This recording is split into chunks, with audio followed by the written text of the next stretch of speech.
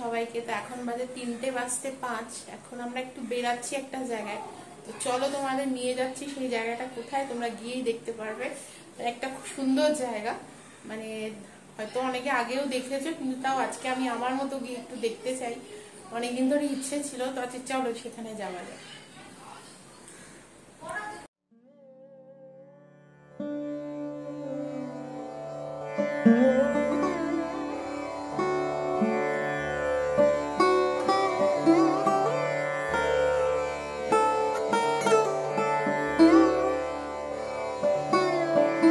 তো আমরা যাচ্ছি এই পানিহাটি গঙ্গা ক্রস করে যাচ্ছি ওপারে। তো চলো দেখতে থাকো কোথায় যাচ্ছি। তোমাদের সঙ্গে পুরোটাই শেয়ার করব।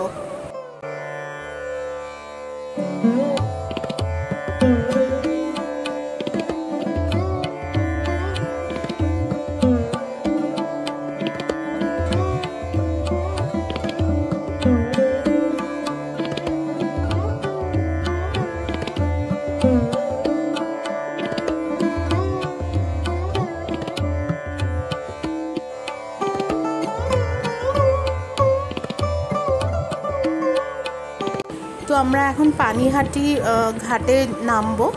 নেমে ওখান থেকে আমরা একটা টোটো ধরে বিটি রোডে যাব হ্যাঁ? তারপরে ওখান এই যে এখন আমরা টোটোতে বসেছি, এখান থেকে আমরা এখন বিটি রোড যাচ্ছি। বিটি রোড মানে ব্যারাকপুর ট্রাঙ্ক রোড। এই যে বিটি রোড থেকে আবার আমরা একটা অটো ধরলাম, তো অটোটা করে সেই জায়গাটাতে যেখানে আমরা যাচ্ছি, সেখানেই নামবো সোজা গিয়ে।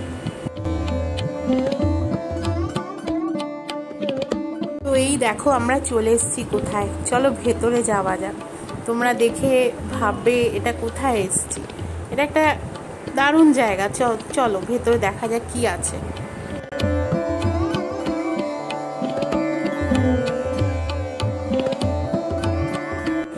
তো দেখো এটা চিনতে পারছ কি না না, এটা দক্ষিণেশ্বর নয়। এটা হচ্ছে উত্তর চব্বিশ পরগনার ব্যারাকপুরের কাছে তালপুকুরের অন্নপূর্ণার নবরত্ন মন্দির। দেখেলে এত সুন্দর পুরো দক্ষিণেশ্বর আদলে? তো চলো দেখি ভেতরটা। তালপুকুরের যেন আগে নাম ছিল চানক এই মন্দিরটি কে প্রতিষ্ঠা করেছে জানো? এইটা মন্দিরটি প্রতিষ্ঠা করেছেন রানী রাসমণির ছোট মেয়ে জগদম্বা দেবী।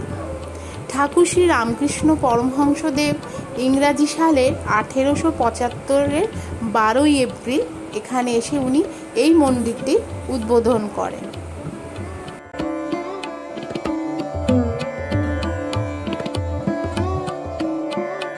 এই মন্দিরের সঙ্গে দক্ষিণেশ্বরের ভবতারিণীর নবরত্ন মন্দিরের খুবই সাদৃশ্য আছে। পূর্ব দিকের একটি সিংহ মূর্তি লোহা, যুক্ত লোহার ফটক দিয়ে মন্দির প্রাঙ্গণে প্রবেশ করলে পাশাপাশি নাট মন্দির ও অন্নপূর্ণার মন্দির চোখে পড়বে। ওই যে দেখতে পাচ্ছ, ওটা হচ্ছে সিংহ মূর্তিযুক্ত লোহার ফটক।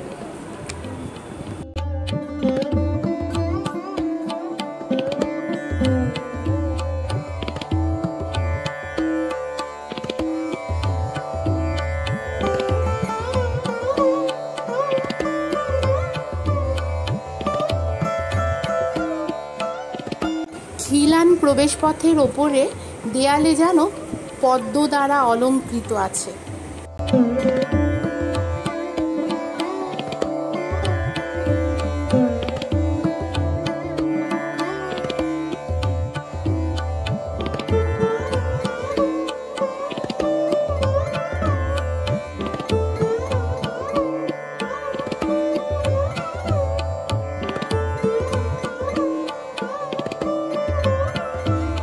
আমরা যেমনি এখন এই সময় মন্দিরে ঢুকেছি, এই সময় হচ্ছে ধরো চারটে বাসছে চারটে, সাড়ে চারটে। সাড়ে চারটের মধ্যে মোটামুটি মন্দির প্রাঙ্গণ যে মায়ের যে অন্নপূর্ণা মায়ের যে মেইন মন্দির গর্ভগৃহ, ওটা খোলা হয় ওই সময়টাতে।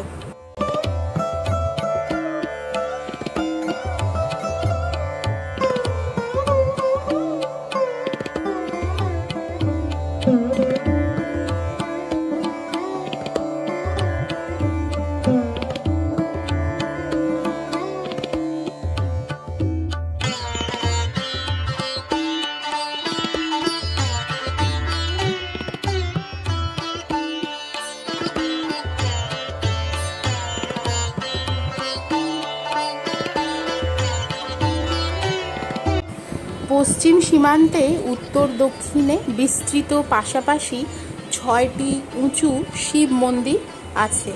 প্রত্যেকটি প্রায় তিন ফুট উঁচু কালো পাথরের শিবলিঙ্গ এখানে প্রতিষ্ঠিত আছে। তো চলো সেদিকেই আমরা যাই এখন, শিবলিঙ্গর দর্শন করি।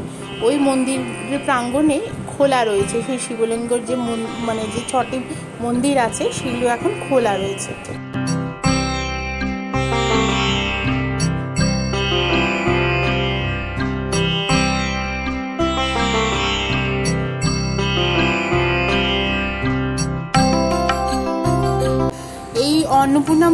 গর্ভগৃহে শ্বেত পাথরের বেদির উপর রূপর সিংহাসন, আসিনা, অষ্টধাতুর তৈরি দেবী অন্নপূর্ণা আছেন। অলঙ্কার ভূষিতা ও অন্নদানের রতা মাতৃমূর্তি তার ডান হাতে অন্নদান করার হাতা এবং বাঁ হাতে অন্নপাত্র। দেবীর ডান পাশে দণ্ডায়মান রূপর তৈরি মহাদেব। হাতে ত্রিশূল ও ভিক্ষা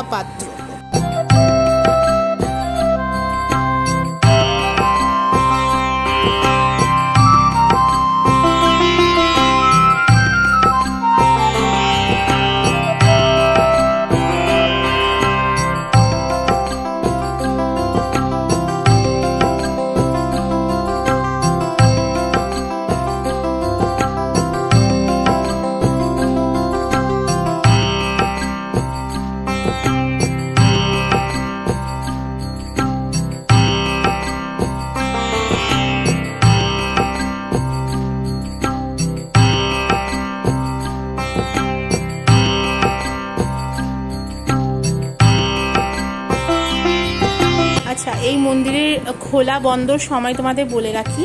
সকালবেলার সময় হচ্ছে ভোরবেলা পাঁচটার থেকে দুপুর দেড়টা অবধি, আর বিকেলবেলা হচ্ছে চারটের থেকে বা সাড়ে চারটের থেকে রাত আটটা অবধি খোলা থাকে।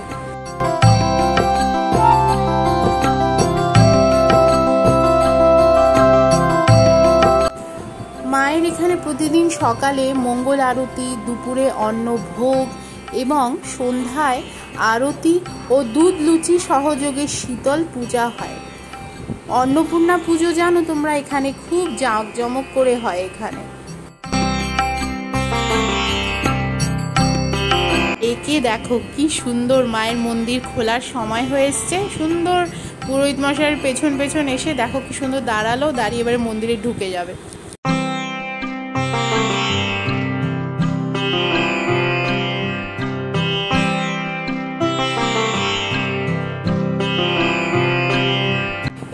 মন্দিরের চত্বরে মেন গর্ভগৃহে কিন্তু ছবি তোলা একদমই নিষেধ। কিন্তু তাও একটুখানি আমি চেষ্টা করেছি তোমাদের জন্য দেখি, একটুখানি দেখানোর জন্য।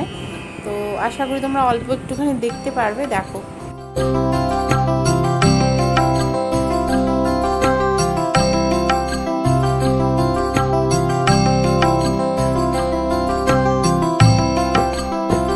এবারে বলি, মন্দিরে তোমরা কি করে আসবে? খুবই সহজ। মন্দিরে যে কোনো শ্যামবাজার থেকে ব্যারাকপুর গামী যে কোনো বাসে উঠে নামতে হবে তালপুকুর।